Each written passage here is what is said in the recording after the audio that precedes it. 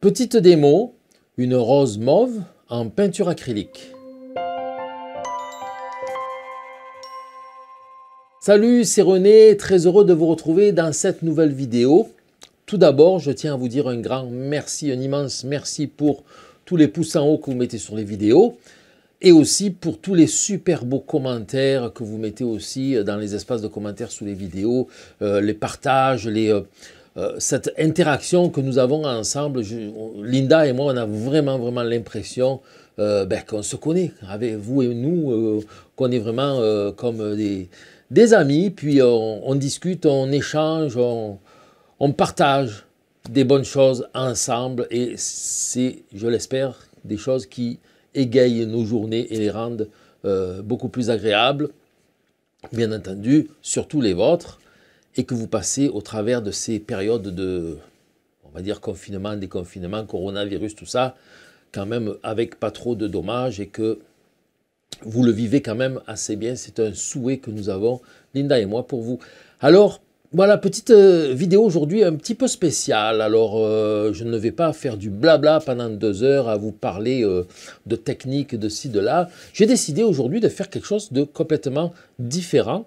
Je vais faire une démo, c'est-à-dire que je vais peindre devant vous. Je vais peindre comme si je peignais pour moi, tout simplement. Ce n'est pas un cours. Je ne donnerai pas des techniques, oui, je vais parler, je vais expliquer un petit peu des choses, mais je vais me laisser aller. Voilà, c'est ça qui est important parce que, regardez, lorsque je fais des cours en vidéo, je suis concentré, oui, sur la peinture, sur ce que je fais, mais aussi sur ce que je dis en même temps. Et c'est important d'expliquer les choses au fur et à mesure qu'on avance dans le travail, dans le tableau. C'est important de rester concentré sur cette façon de travailler là.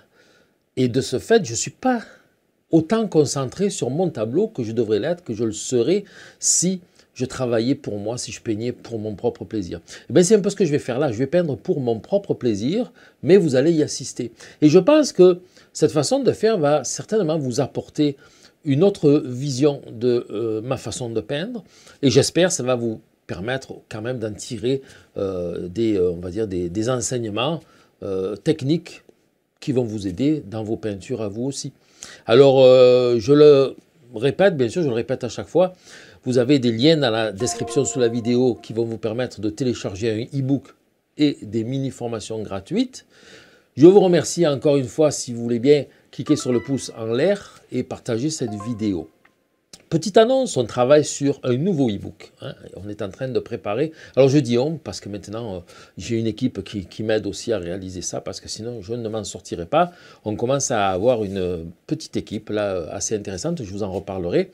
Mais donc il y a un nouveau e-book qui, est en préparation actuellement. Je ne sais pas du tout quand il sortira, ça va prendre du temps, mais ça a commencé là. Voilà, alors voilà, qu'est-ce que je vais faire aujourd'hui comme peinture? Donc ça va être une rose. Là, vous la voyez peut-être déjà sur mon écran d'ordinateur. Elle est un petit peu mauve. Euh, c'est une photo que j'ai prise avec, euh, sur un bouquet. Moi, j'offre des fleurs à ma femme, puis après, je fais des photos pour faire des tableaux, voyez.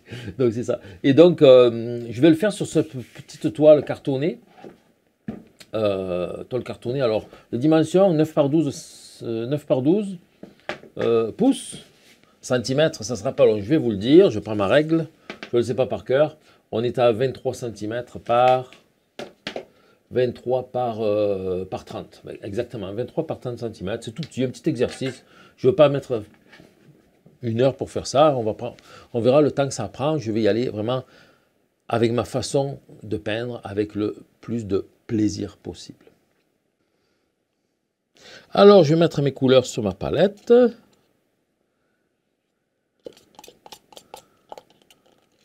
Alors, c'est la peinture golden acrylique je, suis en train de finir mon, petit pot de blanc de titane.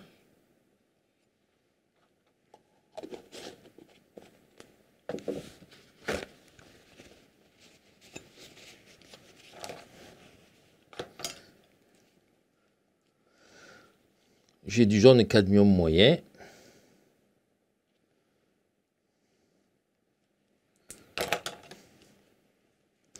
Du cramoisi d'alizarine.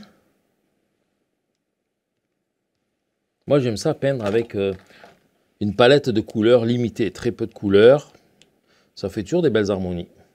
Ça, c'est le bluff talot nuance de vert.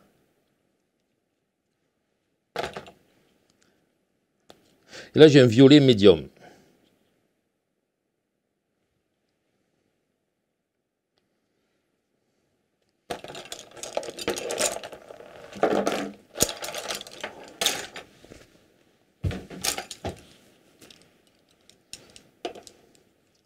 Ma petite série de pinceaux, toujours langue de chat, j'aime ça. Rosemary Co. Euh, Evergreen Filbert numéro 8. Numéro 4. Numéro 2. Et là, j'ai un petit traînard rond. C'est un pinceau de Curies fabriqué en Inde. C'est un numéro 1.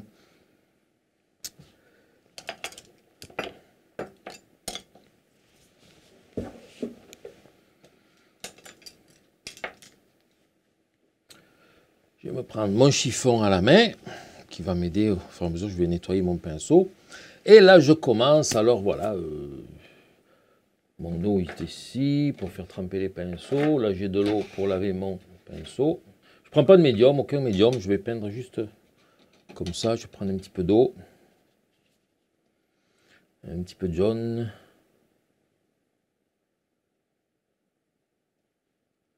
Un tout petit peu de bleu. Un peu de blanc, mais je ne vais pas le salir mon blanc.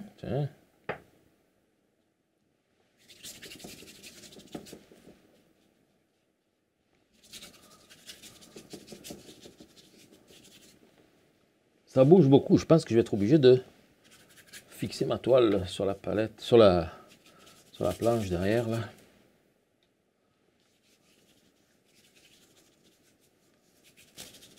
J'aime ça faire un petit fond avant de commencer à peindre vraiment.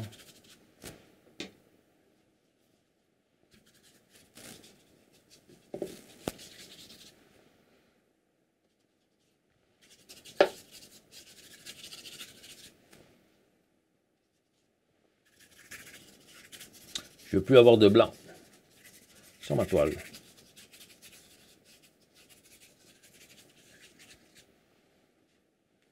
On a mis du bleu, du jaune, tiens voilà.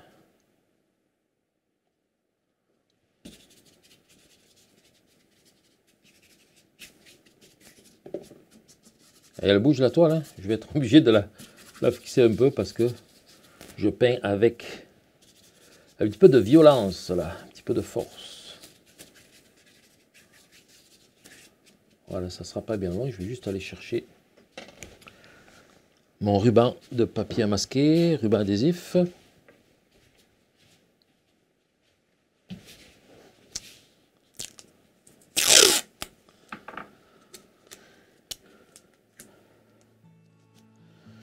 Petite boucle. On va la mettre derrière ici.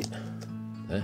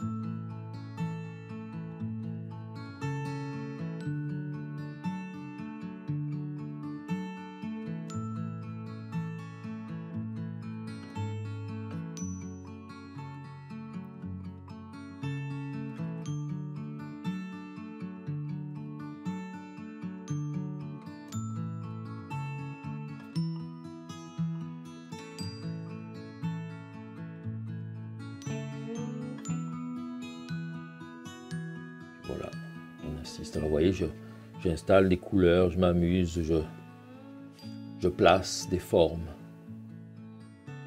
Je ne chercherai pas à y aller exactement comme sur la photo. Je vais garder un petit côté euh, très, très impressionniste aussi. Sur la photo, la rose est très très centrée. Là, je vais essayer de la décaler un peu plus sur le côté droit.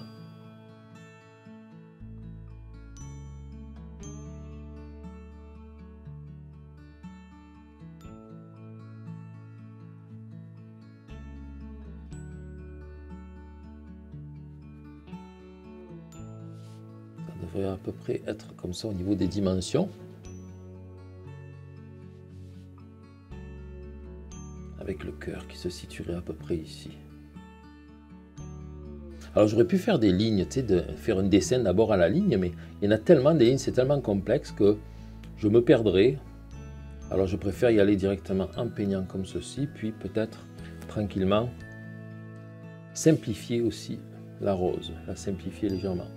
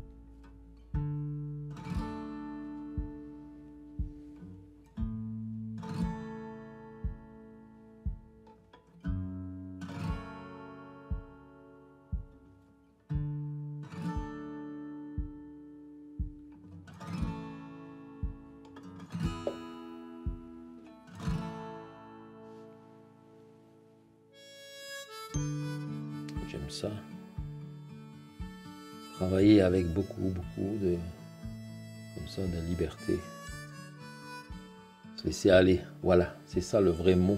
Se laisser aller, ne plus avoir de, la peur de mal faire, de manquer son coup ou autre. On s'en fout.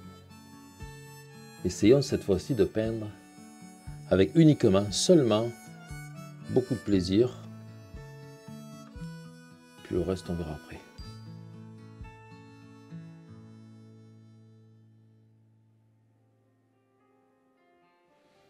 J'aime ça commencer par placer les, les foncés d'abord.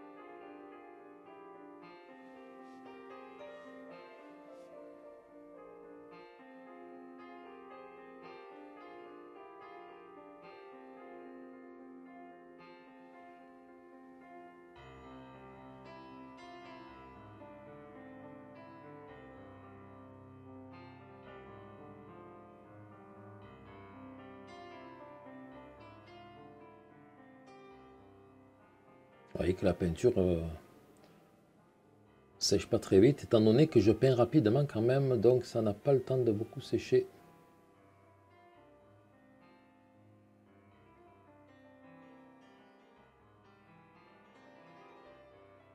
Je peins épais avec beaucoup de peinture.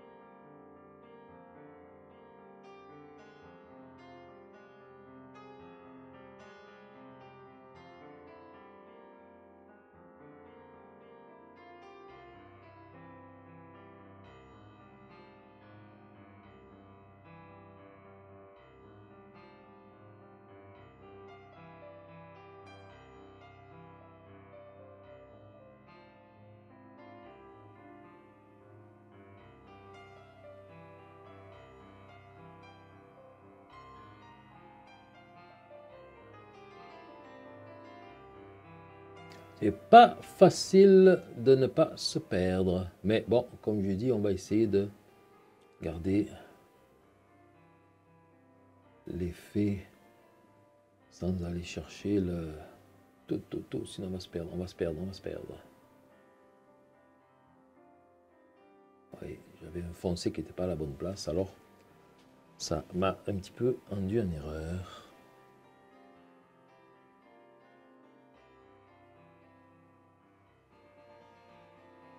On va peut-être à un moment donné avoir un pétale en moins quelque part, là, puis c'est pas plus grave que ça. Parce que sinon, ça peut faire aussi une rose un peu trop chargée.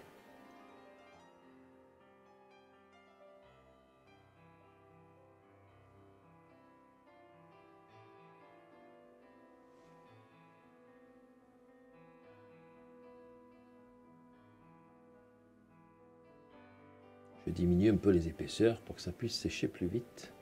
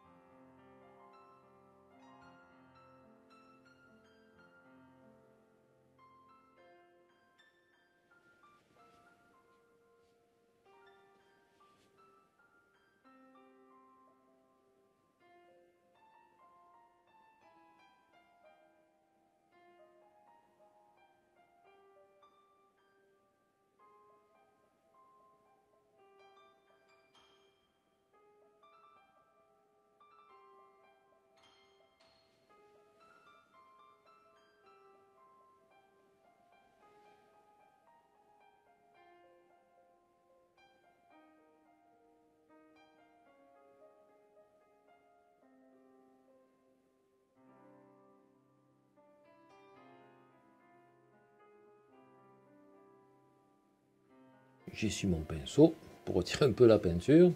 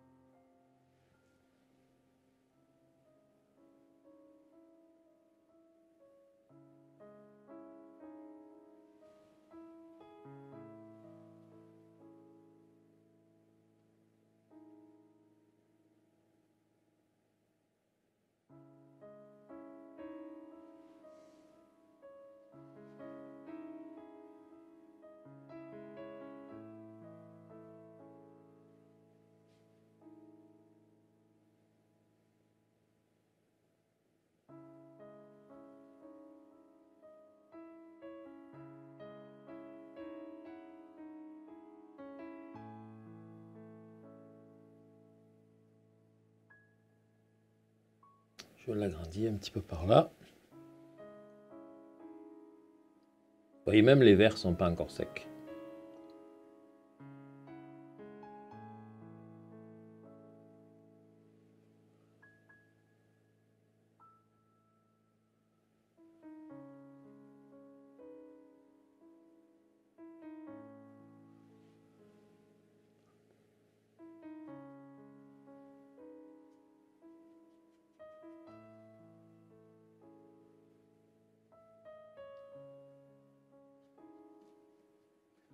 Quelques petits rappels ici et là. Pendant que ça sèche, c'est ça, je vais continuer à travailler un petit peu l'extérieur.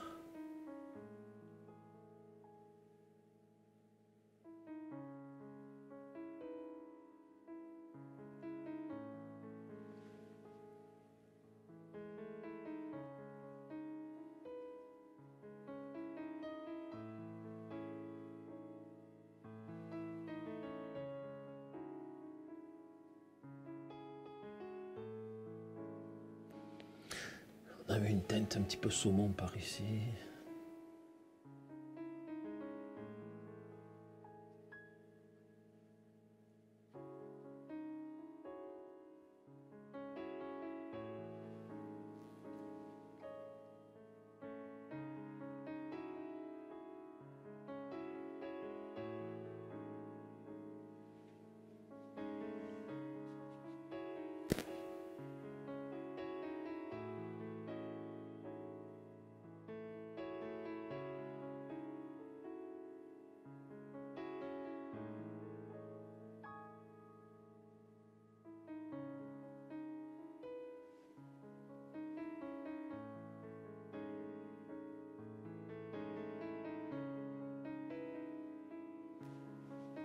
Quelques petits reflets légèrement saumon par endroit. Ça peut être très très intéressant.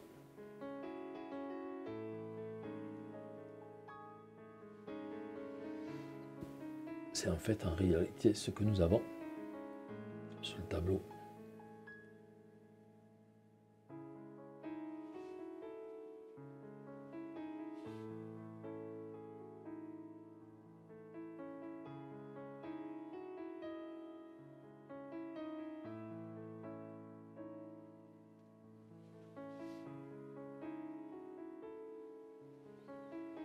Ça, va être trop blanc, on va le foncer un petit peu.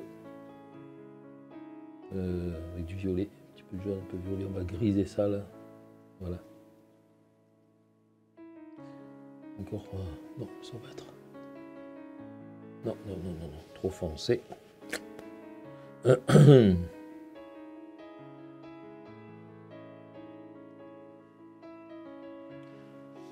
je veux le griser, le rendre plus gris, un petit peu plus gris, neutre.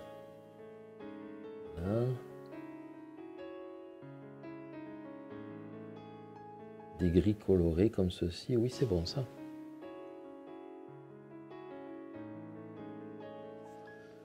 Pour rosé, on va mettre un peu plus de vert.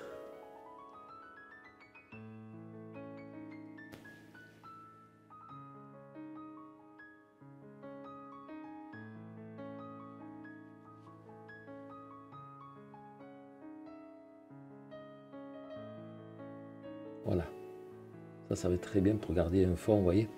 Un fond euh, pas trop contrasté au niveau des couleurs. On va le contraster un petit peu au niveau des valeurs, là où ça sera nécessaire. Mais au niveau des couleurs, j'aime ça quand c'est des couleurs, des teintes qui viennent rechercher un petit peu les couleurs qu'il y a dans la rose, dans le sujet principal.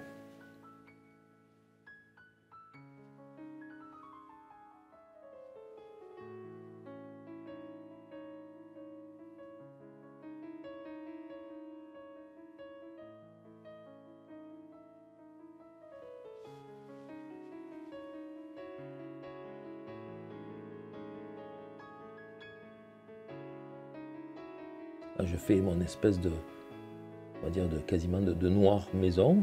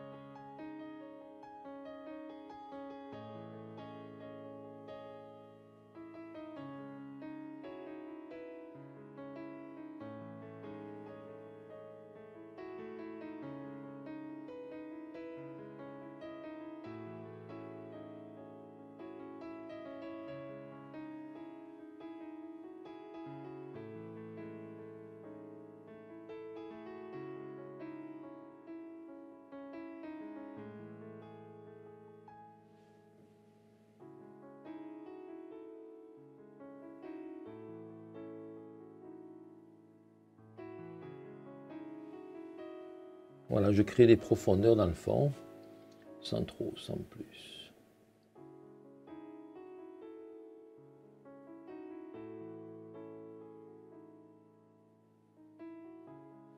Pendant ce temps-là, la rose, elle sèche un petit peu. Je vais pouvoir la reprendre après.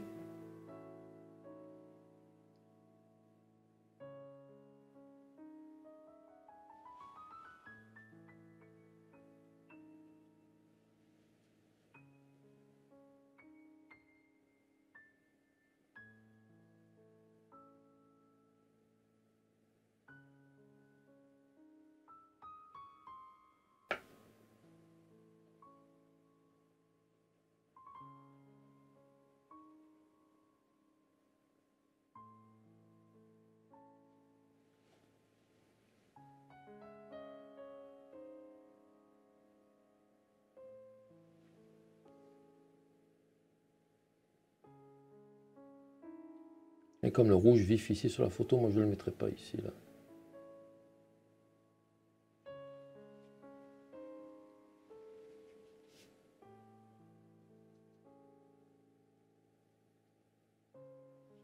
On peut revenir faire quelques verts foncés.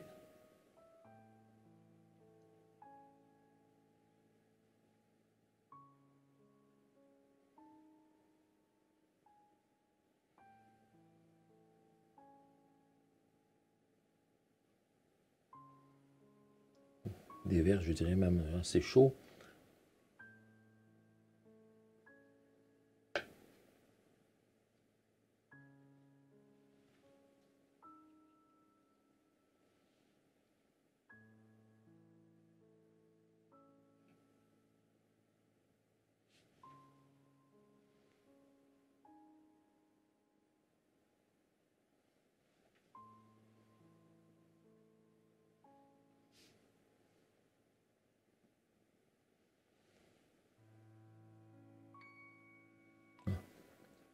Là. On va revenir dans les, les verts plus pâles. Quand même remettre une petite touche, toute petite touche de mauve aussi dans les verts. Voilà. Pour l'harmonie.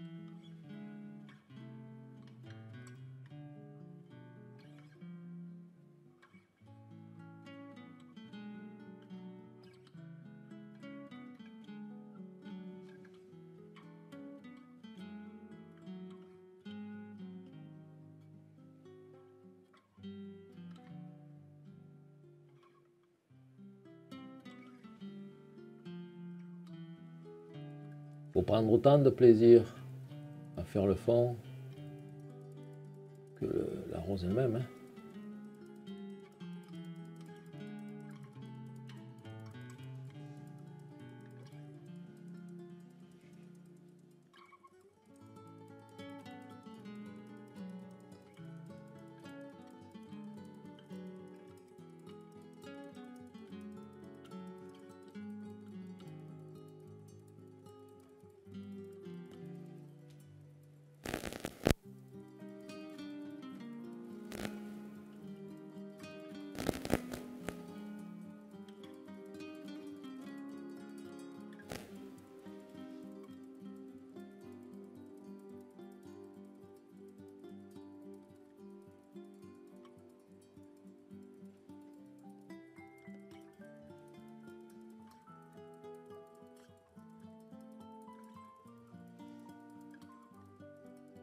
Après, on va revenir dans la rose, puis je vais commencer à intensifier les contrastes et les couleurs. Je vais prendre un pinceau un peu plus petit quand même.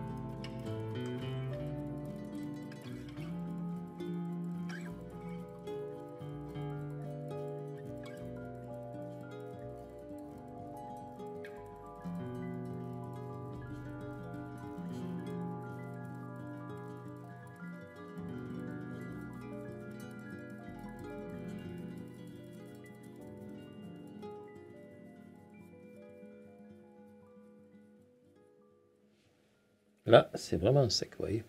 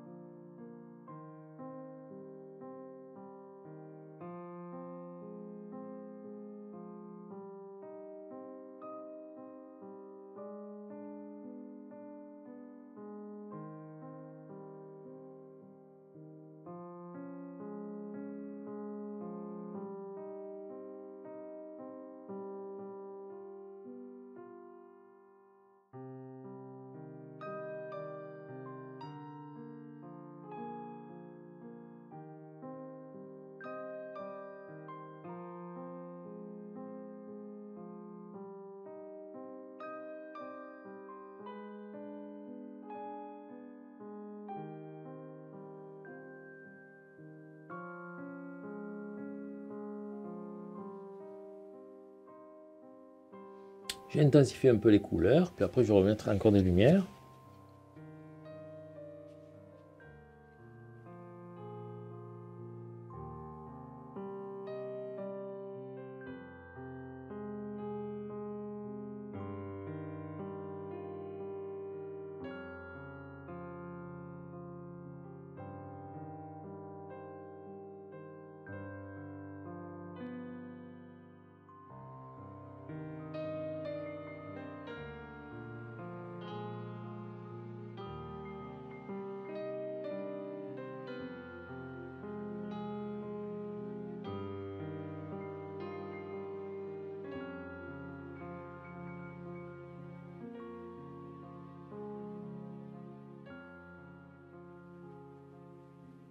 Voyez, puisque je fais attention, c'est... J'essaye à peu près de reproduire ce qui est... Euh, comment dire Découpé, ce qui est fondu. J'essaye de reproduire un petit peu ces différences de, de netteté dans les contours, un petit peu partout, que ce soit dans les lumières, dans les ombres. Vous voyez, ici nous avons du foncé. Ça va par là. Donc je le mets.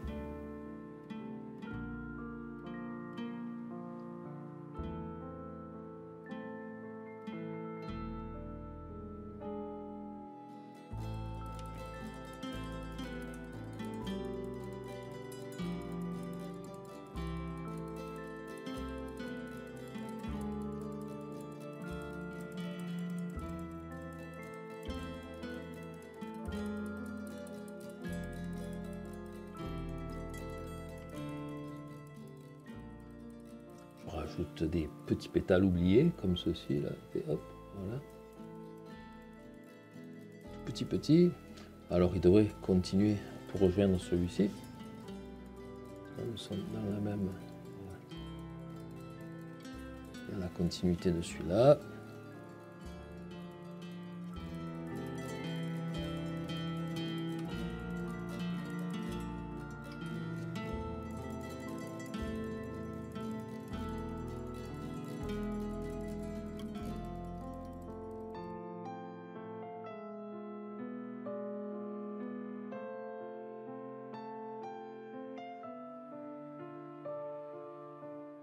Bien sûr, il faut reblanchir plusieurs fois. On est en acrylique et ça fonce en séchant.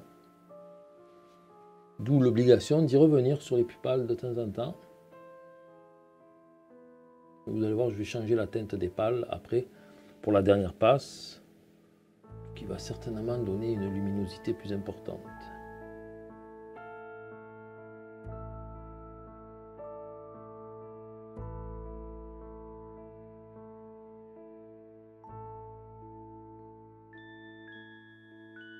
Alors vous voyez quand même, j'étais euh, tout à main levée, donc c'est normal que je n'ai pas exactement le même design de la rose. J'ai travaillé de manière euh, rapide et spontanée.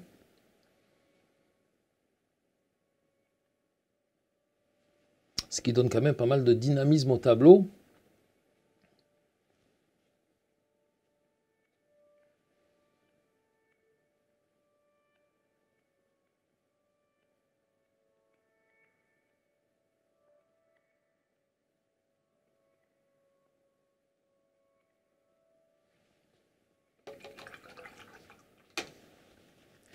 Donc là, c'est ça, je vais prendre mon blanc, je vais le mettre ici.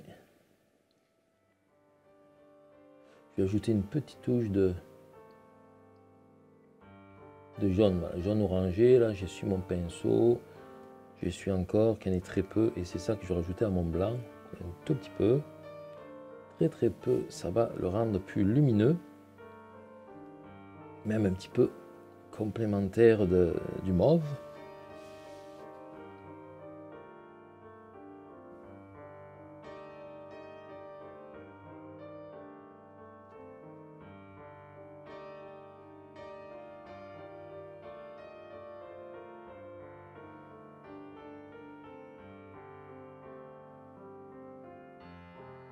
Donc quelques blancs plus éclatants. Je vais prendre le petit pinceau.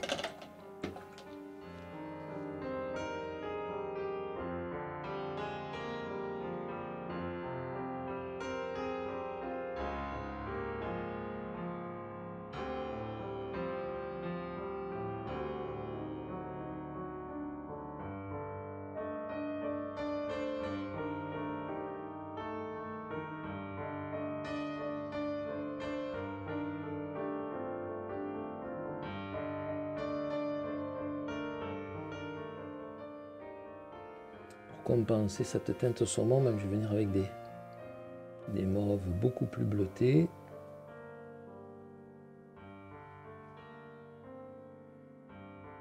Ah non, je sais quoi. Euh, un petit peu de blanc. Avec du bleu phthalo là. Hmm. Il y a très peu de mauve dedans. Voilà, voilà. Apporter quelques reflets comme ça, bleutés dans certaines ombres.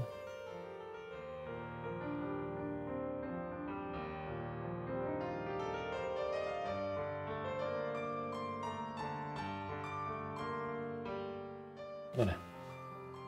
Quand j'en ai trop mis, après je reviens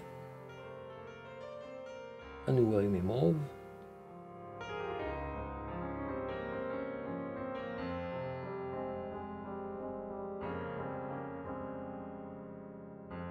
Je le réserve un petit peu pour les ombres.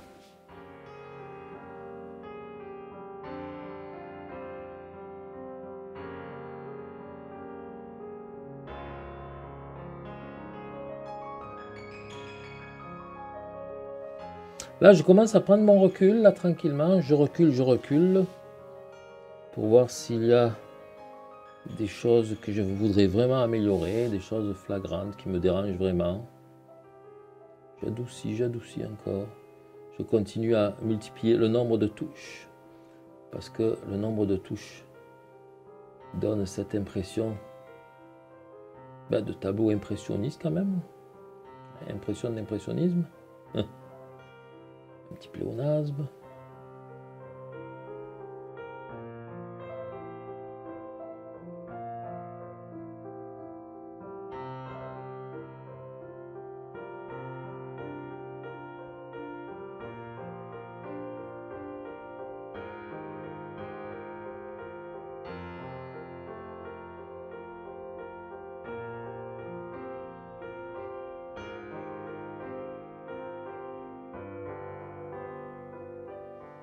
Ici aussi, je renforçais un petit peu le découpage avec le fond.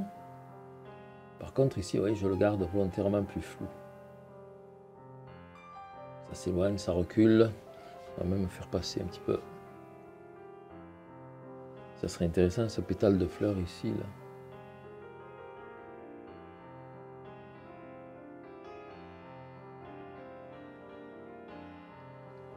Faire passer un petit peu en avant.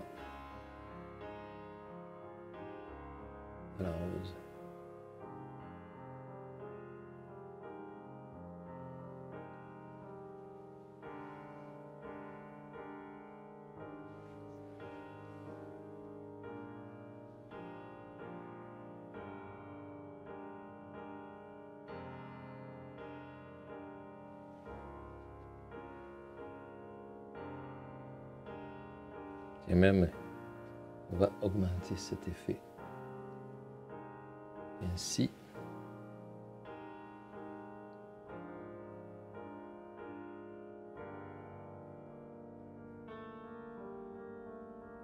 Et un petit ombrage ici, là, qui fait passer un peu un pétale de fleurs un petit peu hein, légèrement orangé ici, là, sur la rose.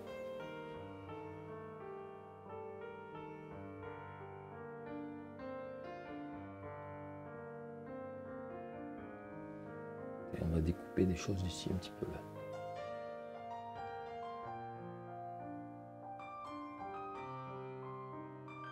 Et voilà, là aussi, hop, ça passe en avant. Donc je préfère intégrer un petit peu la rose à son environnement plutôt que la laisser par-dessus tous les autres éléments.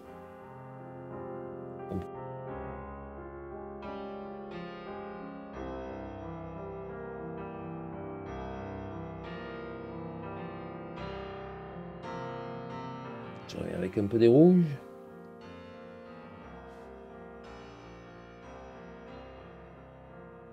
D'ailleurs, euh, les mauves sur la, le, violet, c'est quoi que j'ai pris euh, Violet euh, moyen, c'est ça? Oui, il est un petit peu plus bleuté que la, les mauves qu'il y a sur ma photo ici, sur mon écran.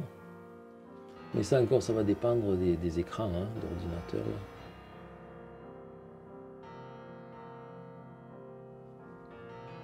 Encore une fois, je continue à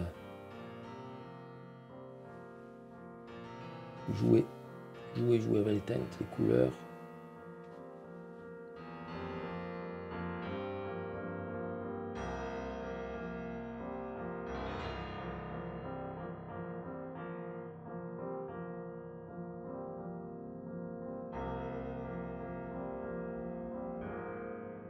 Alors pourquoi je continue? Pourquoi j'insiste comme ça? Parce que je n'ai pas encore trouvé ma satisfaction. Je pense que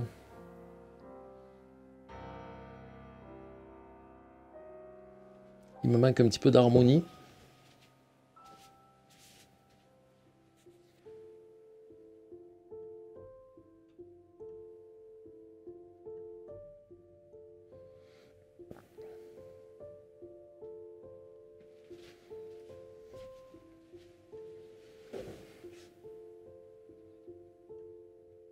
Dans son ensemble, la rose me paraît trop sombre, trop foncée.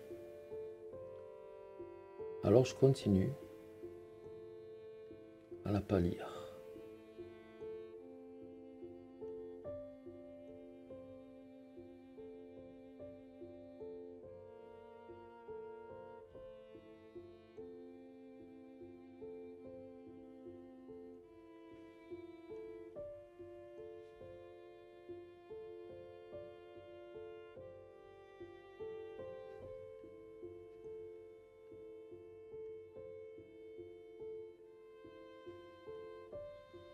Chaque pétale devrait recevoir encore un peu plus de pâle.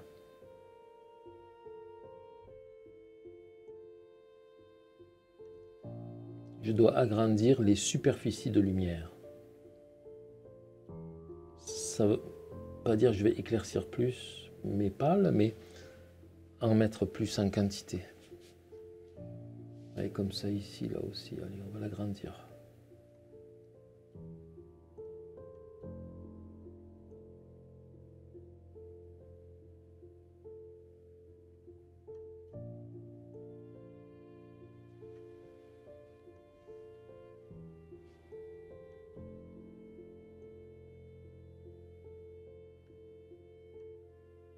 Celui-là aussi, hop, on va le faire aller jusqu'ici. Tant pis si on supprime un pétale ou deux.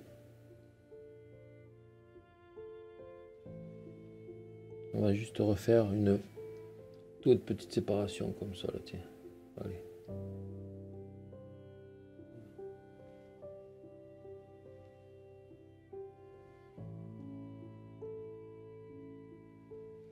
Voilà, on continue à pâlir.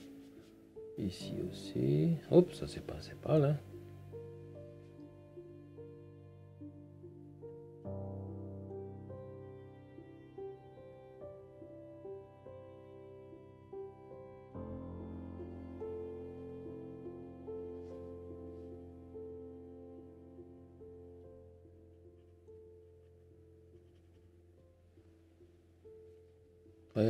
On garde ce flou.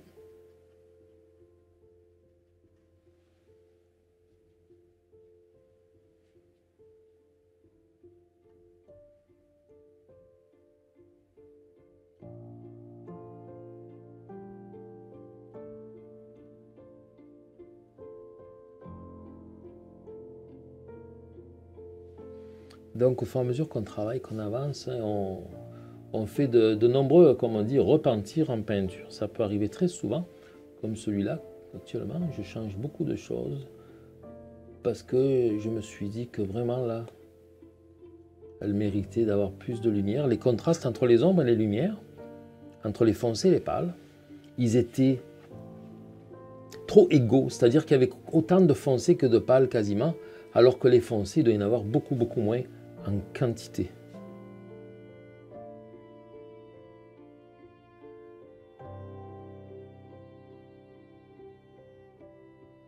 Donc on va avoir finalement une rose pâle. C'est ça qu'on doit voir à la fin, hein, avec quelques petites ombres foncées.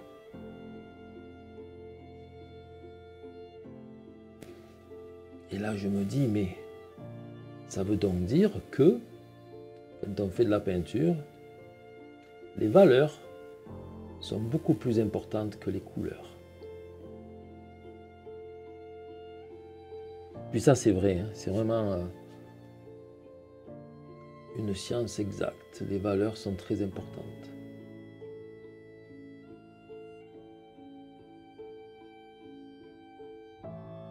Là, je vais reprendre mon blanc très éclatant. Je peux encore maintenant rajouter à nouveau.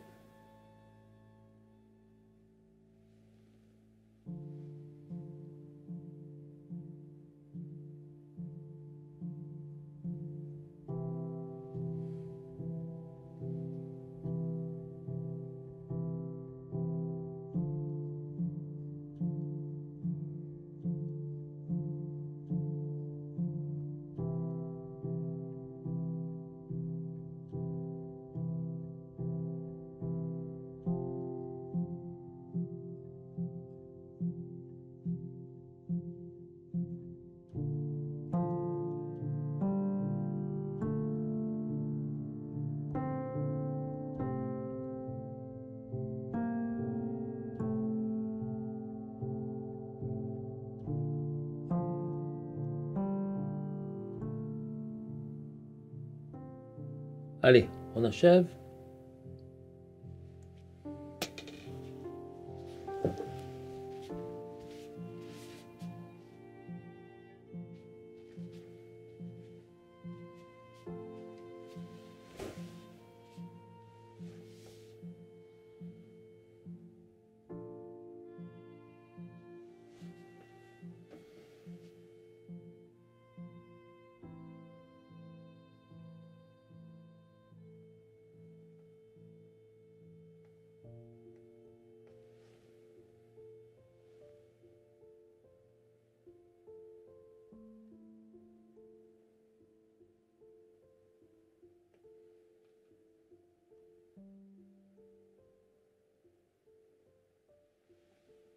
Voilà mon petit exercice terminé. Vous voyez, je l'ai mis sur un petit fond noir pour faire ressortir un peu plus les couleurs.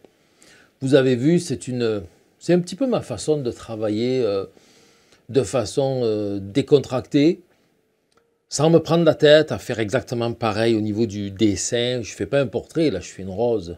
Si on m'avait dit de faire le, portrait d'une personne, si on m'avait commandé euh, un tableau, ça serait différent. Mais là, je travaille pour moi, pour mon propre plaisir.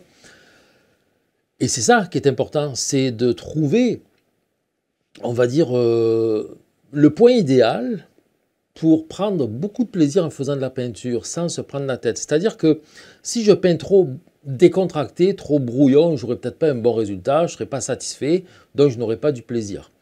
Si je travaille vraiment trop appliqué et que je veux avoir vraiment pareil que sur le modèle, les mêmes couleurs, euh, les mêmes formes exactement, euh, je vais peut-être le réussir.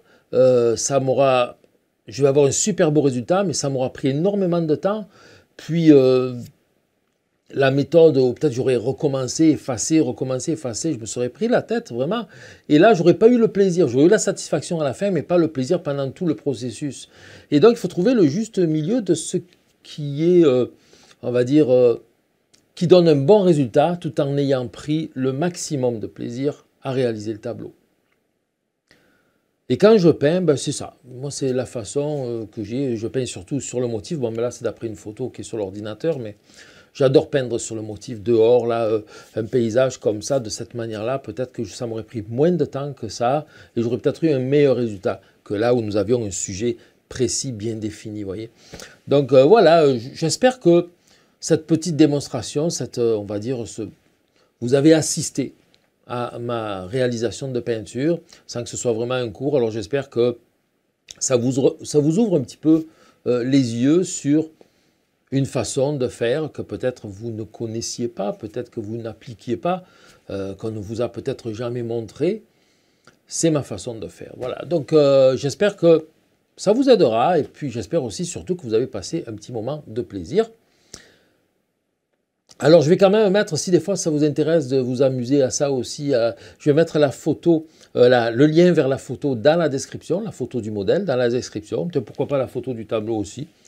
Euh, sous la vidéo. Alors encore une fois, si jamais j'ai oublié de le mettre au montage, mettez-moi un petit mot, puis je le mettrai dès que j'aurai lu votre, euh, euh, votre message, votre commentaire disant que j'ai oublié de le mettre, je le mettrai de suite. Ça c'est arrivé lors de la dernière vidéo aussi. Alors, mais merci beaucoup. Alors n'oubliez pas, si vous voulez en apprendre plus, il y a des liens sous la vidéo, dans la description, sur lesquels vous pouvez cliquer pour obtenir un e-book ou des mini-formations gratuites. Surtout, je vous demande, merci beaucoup, beaucoup de mettre les pouces en haut si vous avez aimé cette vidéo, de la partager sur les réseaux sociaux. Abonnez-vous à ma chaîne si ça n'est pas encore fait, puis n'oubliez pas de cliquer sur la petite cloche pour être avisé lorsque je mets des nouvelles vidéos.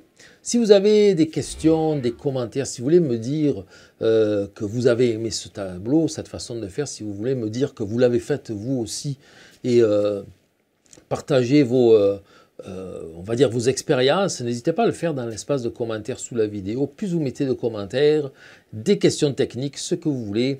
Linda va les ramasser, va les compiler, puis on répondra à vos questions dans une prochaine vidéo. Merci beaucoup et à très bientôt. Bye bye.